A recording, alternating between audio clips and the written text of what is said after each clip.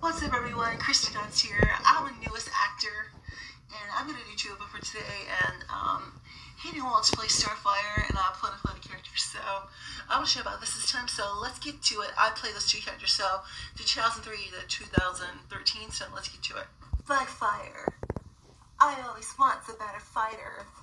Brought you a present. Hey, everybody. I'm gonna stop you right there.